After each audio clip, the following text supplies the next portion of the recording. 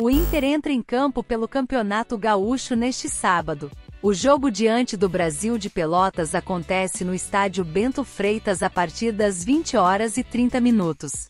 Para o confronto válido pela sétima rodada do Gauchão, o técnico Mano Menezes terá o retorno de um jogador que ainda não tinha ficado à disposição nesta temporada. Trata-se do zagueiro Gabriel Mercado, que está totalmente recuperado de uma lesão na panturrilha e voltou a ser relacionado pelo treinador do Internacional. Mesmo assim, ele deve começar no banco de reservas, com Rodrigo Moledo sendo o parceiro na zaga ao lado de Vitão. Um provável time do Inter para logo mais tem. Keiler, Bustos Vitão, Rodrigo Moledo e René Johnny Baralhas, e Carlos de Pena, Maurício e Alan Patrick, Pedro Henrique e Wanderson. A partida de logo mais terá transmissão apenas do canal Premier na TV. Além disso, o G. Globo também anuncia que transmitirá o confronto.